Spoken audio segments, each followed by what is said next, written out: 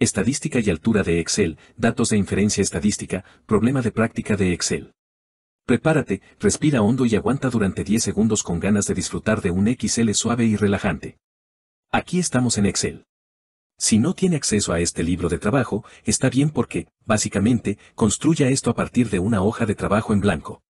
Así que podrías abrir una hoja de trabajo en blanco. Pero si tiene acceso a este libro de trabajo tres pestañas más abajo del ejemplo, Practique un ejemplo en blanco y la práctica clave de la respuesta esencial tenga celdas preformateadas. Por lo tanto, puede concentrarse en el corazón del problema de práctica, la pestaña en blanco, solo tener los datos para que podamos practicar el formato de las celdas en Excel a medida que trabajamos en el problema de práctica. Vayamos a la pestaña de ejemplo para ver hacia dónde nos dirigimos. Teniendo en cuenta que tenemos los datos en el lado izquierdo relacionados con el conjunto de datos de alturas y pulgadas bastante largo con el que trabajaremos, estamos imaginando que esta es la población completa de nuestros datos, tomaremos algunas estadísticas como el promedio y la mediana, haremos un histograma de todo el conjunto de datos. Y luego tomaremos muestras de ese conjunto de datos. Así que ya sabemos la respuesta de toda la población que estamos viendo. Y ahora queremos pensar en qué tan cerca estarán las muestras para poder hacer una inferencia sobre cuáles son los números reales en el conjunto de datos. Muy bien, entremos en materia. Vamos a ir a la pestaña en blanco, teniendo en cuenta que si no tiene algunos de los conjuntos de datos, puede intentar extraer conjuntos de datos para practicar desde kaggl.com. Es un buen recurso, en mi opinión. Así que tenemos nuestra información en el lado izquierdo. Primero ordenemos toda nuestra hoja de trabajo, que no es lo que hago normalmente, cada vez que observo que el conjunto de datos básicamente tiene varios decimales. Así que tenemos una pregunta de cuántos decimales, si queremos tomar los datos como referenciamos a nosotros mismos, voy a desplazarme un poco. Y luego voy a seleccionar toda la hoja, colocando mi cursor en el triángulo, haciendo clic derecho en la hoja, y vamos a formatear las celdas a las que suelo ir a moneda, números negativos, entre paréntesis, y el signo rojo del dólar gonzo y mantendré los dos decimales, lo que en realidad reducirá la cantidad de decimales. Recuerde que los conjuntos de datos son un poco más largos que dos. Pero creo que eso nos va a servir para los decimales. Ahí lo tenemos. También estoy antes de desresaltar. Yendo al grupo fuente de la pestaña de inicio, pongamos todo en negrita también. Muy bien, lo siguiente que quiero hacer es poner esto en una tabla. Pero también quiero ser capaz de mezclar aleatoriamente este conjunto de datos. Así que recuerde, el objetivo aquí es pensar en esto como el conjunto completo de datos. Y luego vamos a imaginar que vamos a tomar muestras de eso. Así que primero vamos a tener una idea de todo el conjunto de datos en sí. Así que voy a poner una tabla en esto, vaya a la pestaña Inicio, lo siento, a la pestaña Insertar, y luego al grupo de tablas. Hagamos una mesa con eso. Así que eso debería seleccionar todo el conjunto de datos porque no faltan celdas aquí. Este es un conjunto de datos bastante extenso, un montón de números. Si aquí, si voy al fondo de esto, hemos bajado a, us, saben, 25.000 números en él. Así que, ¿qué es eso, verdad? Es un sí, así que sigamos adelante y digamos. Bien, ahora que tenemos una tabla dentro de ella, podría ordenar los datos, puedo verlos de menor a mayor, o de mayor a menor en pulgadas. Así que si quieres convertir esto claramente a pies, entonces tendrías que hacer una conversión dividida por 12, y así sucesivamente, para llegar a los pies. Pero la idea general es que ahí está. Ahora, si imagino esto como mi conjunto completo de datos, entonces usaría nuestros cálculos que vimos antes de poder hacer un histograma de esto, y puedo hacer mis cálculos del promedio y la mediana, y así sucesivamente. Primero vamos a hacer una B delgada aquí, voy a poner mi cursor en B y ponerla en el medio y hacerla delgada. Y hagamos nuestros cálculos estadísticos normales. Tomemos el promedio o la media. Y puedo usar mi función promedio para hacer que sea igual a los corchetes promedio. Y voy a poner el cursor en el menú despegable y seleccionar todos los datos. Boom, por cierto, es posible que quiera hacer esto un poco más delgado. Y fíjate que es posible que quiera envolver el texto en la parte superior. Así que la pestaña Inicio, la alineación, el ajuste del texto, y luego tal vez pondré un espacio, hago doble clic aquí, pongo un espacio para que ponga el espacio allí, es posible que quiera centrarlo. Alineación y centro de la pestaña Inicio. Bien, ahí está el promedio, entonces podríamos tomar algo. Entonces, al igual que la mediana, usando mi función mediana de confianza que hemos visto en el pasado, voy a hacer esto bastante rápido, la n. Haciendo doble clic en esto y seleccionando todo el conjunto de datos que está eligiendo el que está en el medio, es posible que queramos el máximo. Hagámoslo igual al máximo, estos son mi estándar, dame el valor más alto.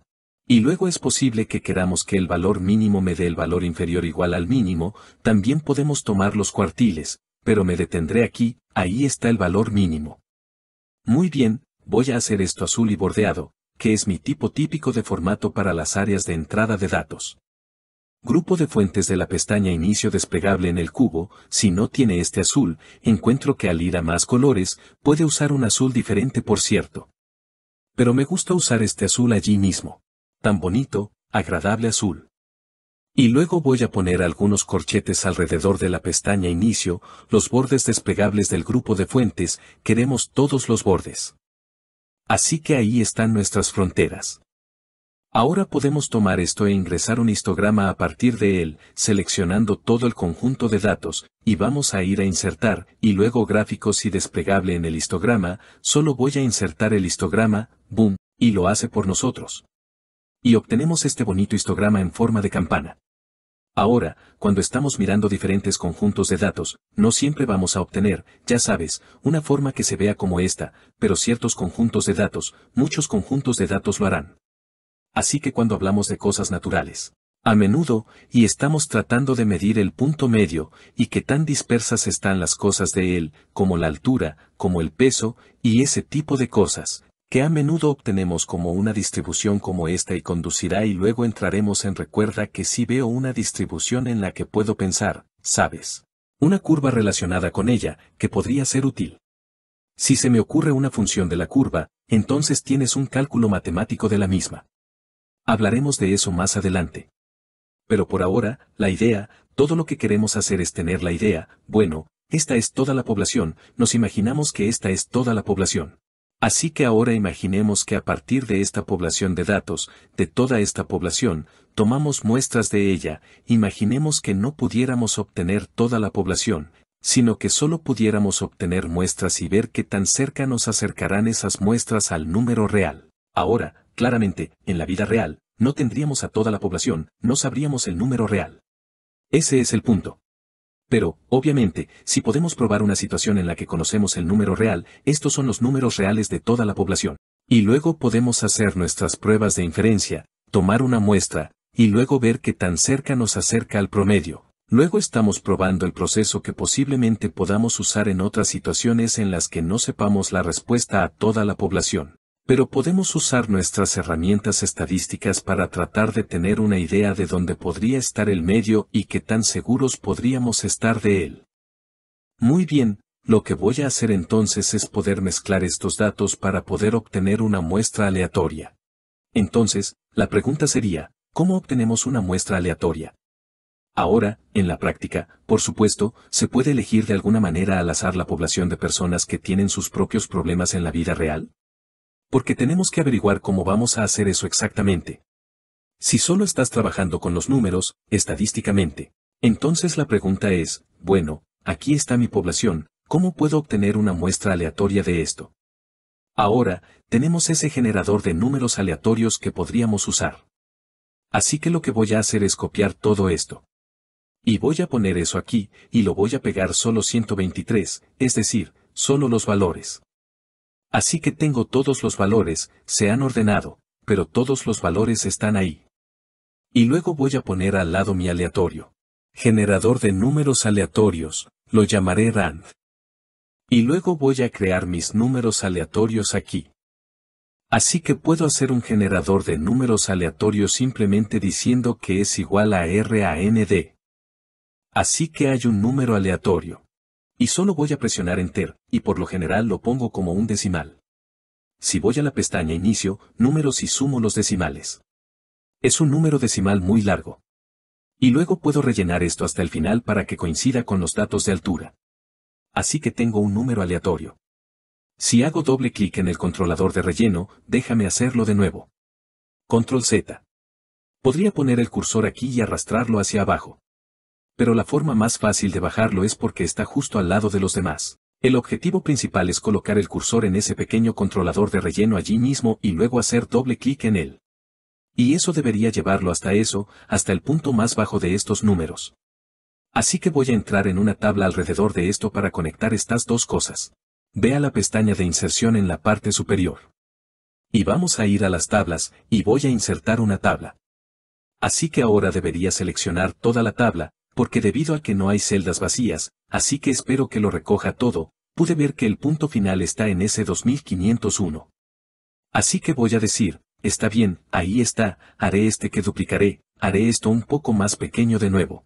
Arrastrando eso, voy a envolver el texto en estas celdas de encabezado, pestaña inicio, pestaña inicio, alineación, envolviendo el texto, voy a centrarlas. Y ahí lo tenemos. Así que ahora están conectados entre sí. Así que ahora, si quiero una selección aleatoria, puedo ordenar por los números aleatorios. Todos estos son números aleatorios. Así que cada vez que hago clic en ellos, se vuelven a barajar. Entonces, si ordeno por los números aleatorios, nos dará una clasificación aleatoria de los números de la derecha. Ahora, el problema aquí, por supuesto, es que cada vez que hago algo, se baraja de nuevo. Así que lo que voy a tener que hacer es obtener un número aleatorio estático aquí. Así que ahora puedo simplemente copiarlos, puedo tomar estos dos, y puedo. Ese es mi generador de números aleatorios. Y ahora puedo pegarlos aquí mismo. Sin embargo, voy a pegar los 123, haciendo clic derecho, pegando 123. Debido a que no lo hago, no quiero que aparezca la función aleatoria real. Y luego, si quiero incluir el formato, podría hacer clic con el botón derecho e insertar el formato también. Pero lo que preferiría hacer es hacer otra tabla con ella, podría ponerle el formato así. Y entonces lo tengo, lo tengo bonito y formateado pero realmente no necesito ese segundo paso, porque voy a agregar la tabla. Así que voy a hacer clic en él, ir a insertar, tables y vuelva a agregar la tabla. Y así boom.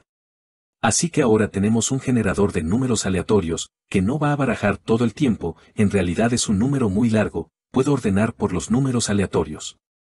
Y eso debería darnos una especie de selección aleatoria de los números de la derecha. Y puedo seleccionar la cantidad de muestra que quiero eligiendo la longitud de la muestra que quiero ver. Comencemos con una muestra simple de 10. Más adelante, entraremos en conceptos de qué tan grande debe ser la muestra para proporcionar un cierto nivel de confianza. Pero por ahora, vamos a tener la idea de elegir la muestra aleatoria y usar nuestras herramientas en Excel para simular esas muestras aleatorias. Así que hemos barajado los elementos, vamos a decir que si elijo los primeros 10. Ahora, esa va a ser nuestra muestra aleatoria. Actualmente estamos en la fila número 2, así que puedo pasar de la 2 a la 11. Y serán 10 artículos. Así que voy a poner el cursor en P para seleccionar hasta P11. Haga clic con el botón derecho y copie o puede decir Control C, haga clic con el botón derecho y copie, voy a poner eso en S2 aquí, haga clic con el botón derecho. Y no los voy a pegar normalmente porque no quiero el formato en lugar de pegar 123 y luego lo etiquetaré tal vez muestra en la parte superior. Así que ahora, si solo miro estos números, y para ver si son representativos o no, recuerden que los números reales estaban aquí. Así que ahí está el promedio, la media, la mediana, si represento esos datos abajo, solo para que podamos verlos uno al lado del otro, los pondré aquí abajo en algún lugar como 17, solo voy a decir que es igual a, voy a desplazarme hacia la izquierda para encontrar esa tabla. Y voy a recrear esa tabla, voy a poner el cursor en el promedio, Enter. Y ahora voy a poner mi cursor en esta celda y copiarla a la derecha y debería tirar de la referencia relativa a la derecha. Así que ahí está el promedio, y luego lo voy a copiar y debería darnos los números relativos. Así que aquí está ese punto medio al que solemos referirnos en el promedio 6799. Los números que recogimos fueron 68. Al igual que puedes tomar la diferencia entre los dos, podría decir que el promedio es ese. Así que la diferencia, así que el promedio. Así que la diferencia de diferencias, o la animación, va a ser igual a esto menos esto, ¿verdad? Y el promedio es el mismo hasta el final. Así que puedo copiar eso hasta el final. Así que ahí está mi promedio.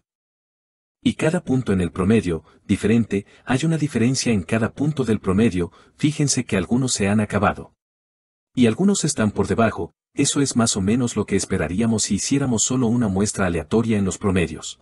Y la tendencia, por supuesto, la idea sería que empecemos a ir hacia el centro haciendo las muestras aleatorias de ellos, ¿verdad?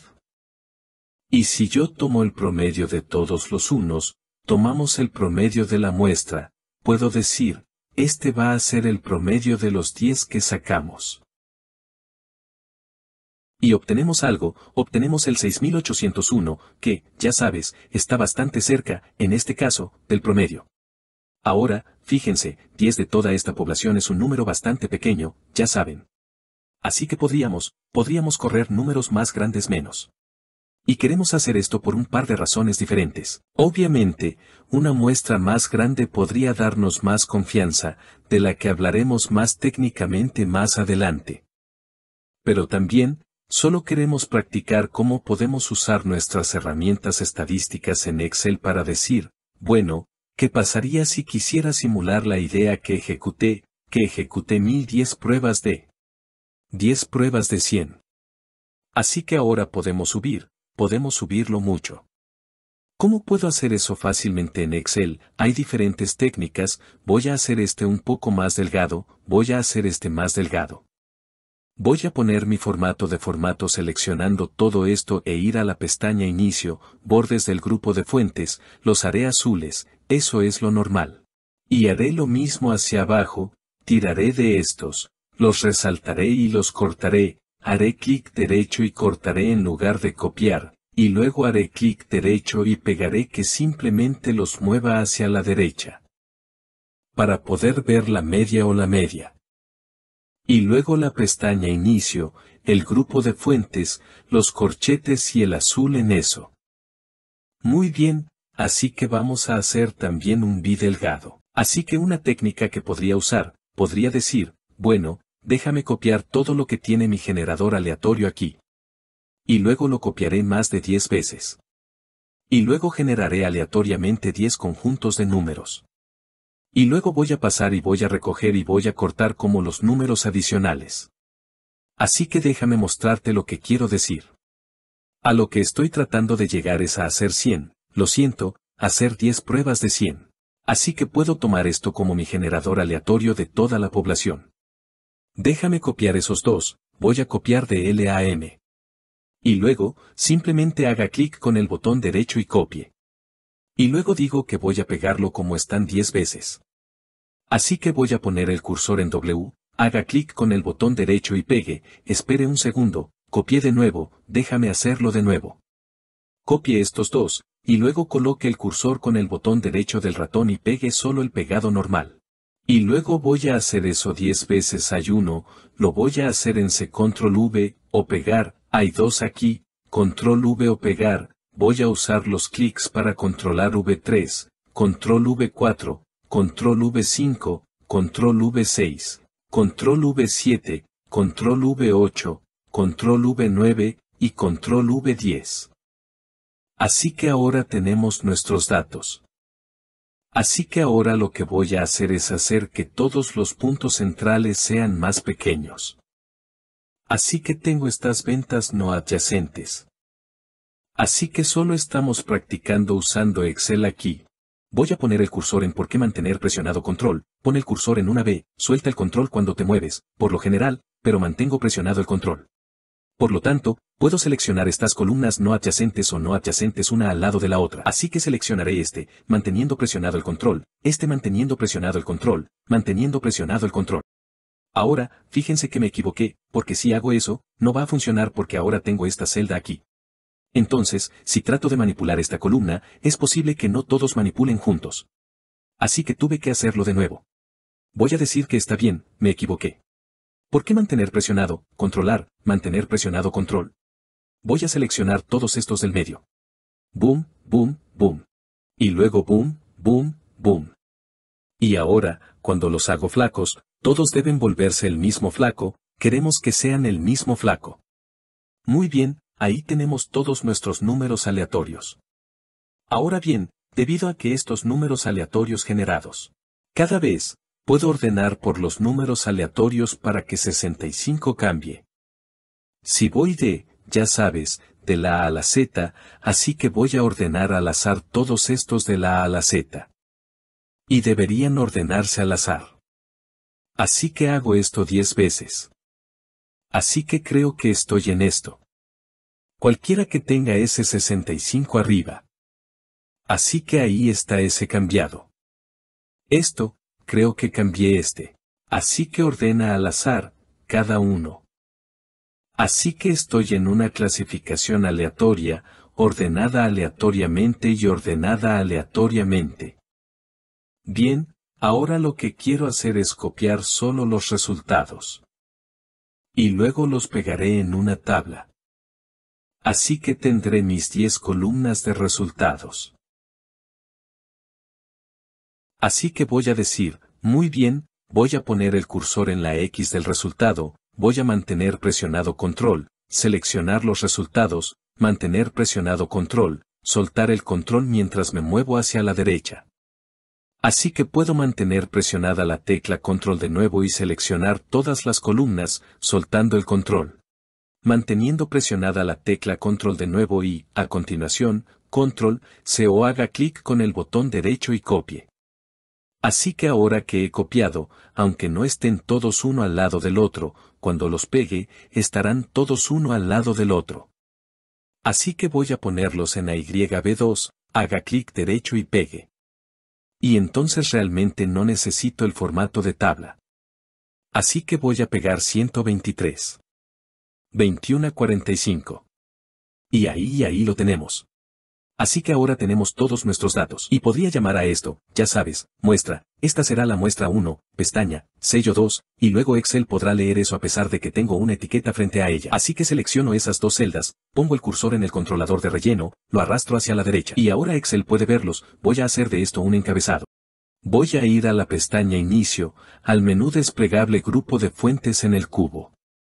Y suelo hacer los encabezados en blanco y negro, negro. Y luego las etiquetas se vuelven blancas si no inserto una tabla, y luego voy a ir al centrado justo ahí. Así que ahí lo tenemos. Y luego, con estos datos, lo que quiero es que baje a 100. Así que hagamos un recuento aquí.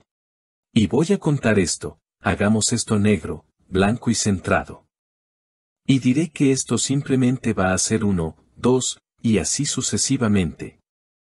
Lo seleccionaré para poner el cursor en el controlador de relleno y lo arrastraré hacia abajo.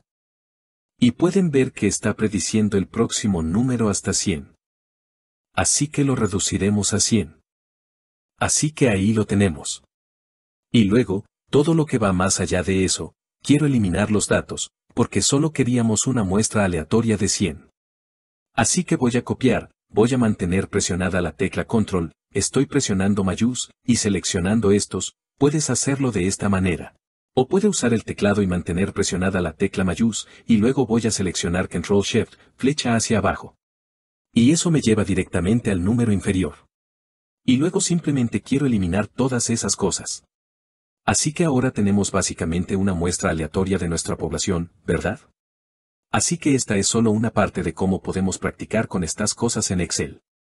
Y luego, si selecciono todos estos datos, vamos a formatearlos como normalmente lo hago con él, el azul. Así que seleccionemos esta cosa. Y vamos a la pestaña Insertar, en la pestaña Inicio, quiero decir, bordes de fuente, y lo haré azul. Muy bien, y luego lo haremos y luego haremos lo que podamos, podemos tomar nuestro promedio de todos ellos. Y puedo tomar para poder ver cada una de estas muestras, y ver qué tan cerca sabes que se alinean con la realidad. Entonces, de vez en cuando, tomemos el promedio de todas las 100 muestras que tomamos los paréntesis promedio, estoy presionando la flecha hacia arriba y luego mantengo presionada la tecla Control Shift y hacia arriba. Y ahora simplemente estoy manteniendo presionada la tecla mayús para no levantar el encabezado y bajar.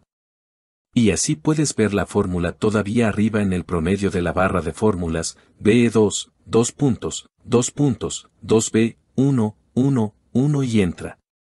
Así que ahora puedo encontrar doble clic ahí está la fórmula si pongo mi cursor sobre eso. Ahora puedo poner el cursor en el controlador de relleno, hacer clic con el botón izquierdo y arrastrarlo hacia la derecha, recogerá todas las referencias relativas hacia la derecha. Ahora, debido a que esta es mi línea de conclusión, tal vez selecciono esto y lo hago como un color diferente, como por ejemplo, la pestaña Inicio, el menú desplegable Grupo de fuentes, hagámoslo azul y blanco. Y luego puedes poner subrayados aquí, puedes poner subrayado, seleccionar en esta columna, pestaña Inicio, y Grupo de fuentes y centro. 25 horas y 35 minutos. Así que ahora puedo comparar esto con mi cono real, estas son mis muestras. Ahora tomé 10 muestras de 100. Esta vez, comparemos eso con los datos reales. Así que voy a golpear iguales aquí abajo otra vez, y voy a volver a mí y voy a volver a eso, donde calculé la muestra, lo hice aquí en alguna parte. Ahí está. Así que quiero tomar esta tabla, está dentro, la puse en modo que S17, S17, entrar, voy a construir esa tabla de nuevo, poniendo el cursor en esta celda, rellene el control, arrástrela hacia la derecha. Y luego voy a arrastrarlo hacia abajo. No necesito esta columna del medio, porque no hay nada en ella.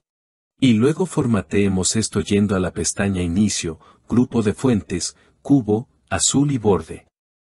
Así que ahí está la cantidad real para la población. Recuerden, de nuevo, que en este caso, tenemos a toda la población, ¿verdad? Y estamos tratando de mirar nuestra muestra para ver qué tan cerca si tomara una muestra al azar. Llegamos a los números que ya conocemos de toda la población, para que podamos aplicar esos conceptos a momentos en los que no conocemos a toda la población, ¿verdad? Así que este es el tipo real de respuesta en términos de la media.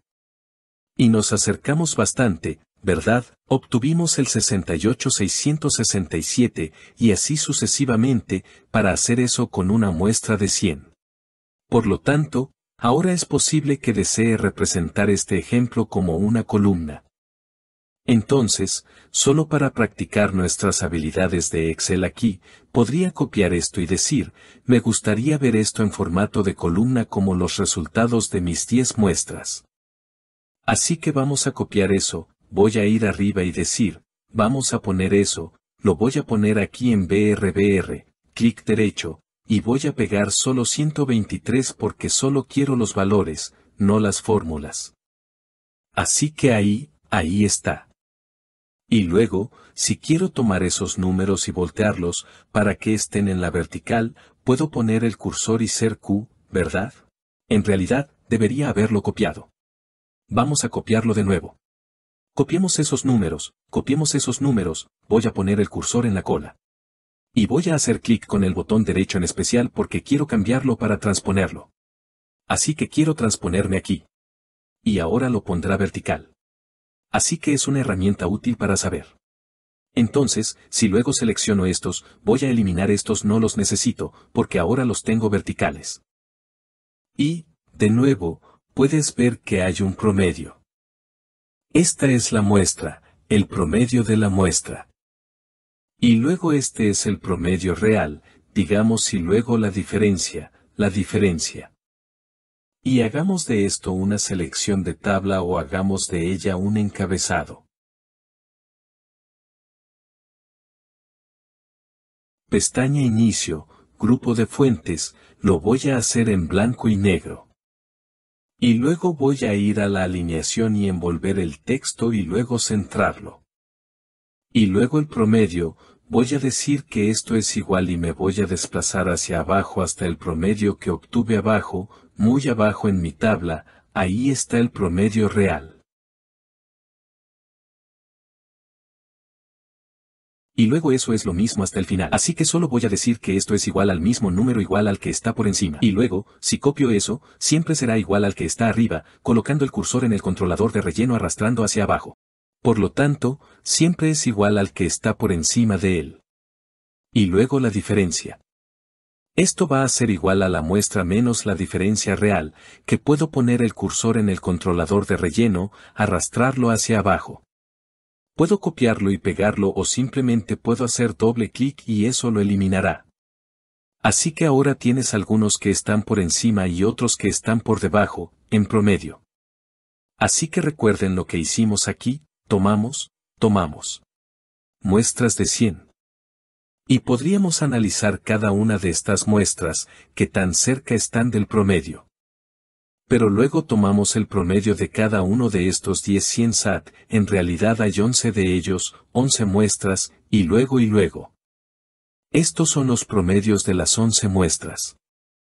Y ahora los estamos comparando con los reales y, de nuevo, esperaríamos que algunos de los promedios estuvieran por encima y por debajo, no van a ser exactos.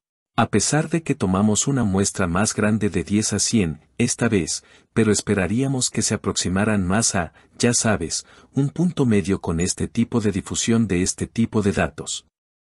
Entonces, si selecciono esto, y pongamos nuestras herramientas.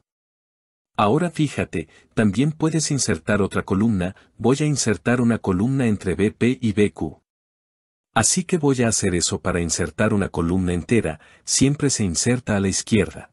Entonces, si selecciono BQ, toda la columna, hago clic derecho en la seleccionada e inserto, insertará una columna a la izquierda.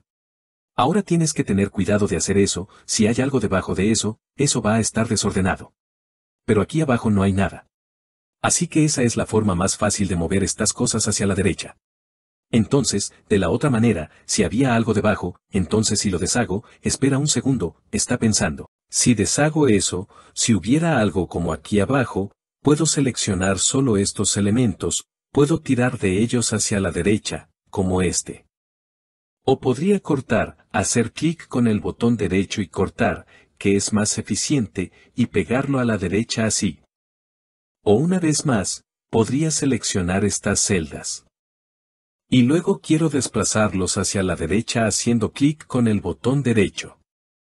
No nos vamos a deshacer de las hormigas bailarinas. Así que voy a hacer doble clic, seleccionar estas celdas, hacer clic con el botón derecho e insertar. Y entonces puedo decir que no quiero desplazarlos hacia abajo, sino hacia la derecha. Entonces puedo desplazarlos hacia la derecha. Así que hay un montón de formas diferentes de hacer lo mismo, lo que será útil dependiendo de si hay datos en la parte inferior o a la derecha, por ejemplo. Entonces podría decir, tomemos el promedio de los promedios, ¿verdad?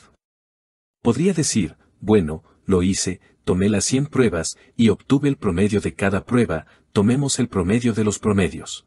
Y eso nos da el 6799, que es bonito, que es como básicamente, ya sabes, podemos agregar más decimales porque esto es en realidad decimales más largos que 2.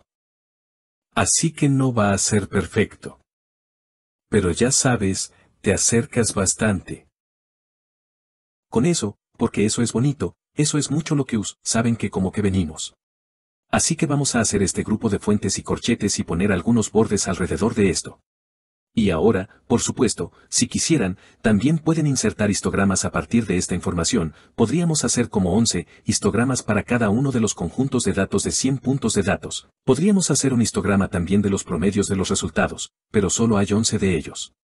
Por lo tanto, es posible que no sean datos suficientes para hacerlo. Pero ya sabes, si eliges la muestra completa, digamos la muestra 11 aquí, y voy a mantener presionada la tecla Control Shift hasta la parte inferior, y luego mantengo presionada la tecla Mayús para no recoger el total, de modo que yo y luego me desplazo hacia arriba. Así que solo quiero bajar a 101, no a 102. Y luego voy a mantener presionada la tecla Control Retroceso que me lleva de vuelta a la parte superior. Sé que estoy usando muchas pulsaciones de teclas aquí, pero solo estoy tratando de señalar que si tienes un gran conjunto de datos, eso va a ser más eficiente, entonces como desplazarte hacia abajo y luego hacia arriba, aunque puedes hacer cualquiera de las dos, incluso con 100 puntos de datos, no es tan malo desplazarse hacia abajo. Pero cuando se obtienen conjuntos de datos realmente grandes, es útil utilizar las pulsaciones de teclas. Entonces podemos ir al inserto. Y podemos ir a los gráficos e insertar un histograma. 34 horas y 32 minutos. Así que ahora tienes un histograma de esa última muestra. Y borré el de esa última muestra. Así que puedes ver que se aproxima al histograma real, ¿verdad? Aquí está la décima, se podría decir que aquí está el histograma real.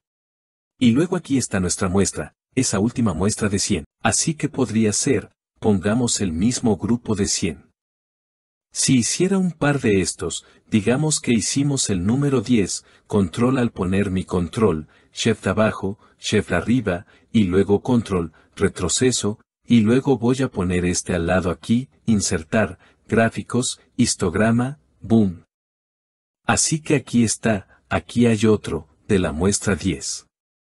Así que bien, y luego hagamos uno más para tener una idea, tenemos diferentes dispersiones de los datos, 100, desplazamiento hacia abajo, y desplazamiento hacia arriba, y luego control, retroceso.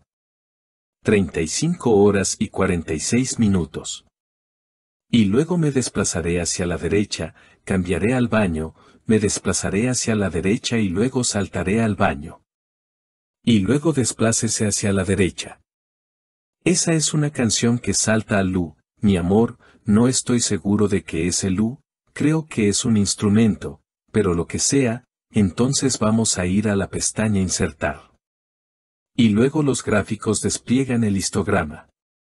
Y aquí hay otro histograma. Y para que puedan tener una idea de, ya saben, cuando yo, cuando saco estos, cuál es la propagación de cada uno de estos de la de cada una de estas muestras de codo 100? Y, fíjense, una de las preguntas a las que llegamos es, bueno, ¿qué tan cerca están demasiado débiles del punto central? Eso es lo que hemos estado viendo. Y también, ya sabes, ¿cuál es la forma característica de la crema? Además, algo similar al conjunto de datos real. Ese es otro tipo de pregunta que nos gustaría poder saber y nos puede ayudar a pensar también en qué tan seguros estamos de que el punto central real y la distancia, ya sabes. Las distancias entre ellos son correctas, en las que entraremos más técnicamente más adelante. Pero por ahora, también queremos practicar el uso de nuestras herramientas de Excel, para pensar en cómo podemos crear algunas de estas muestras aleatorias y manipular algunos de los datos y luego hacer nuestros cálculos sobre ellos.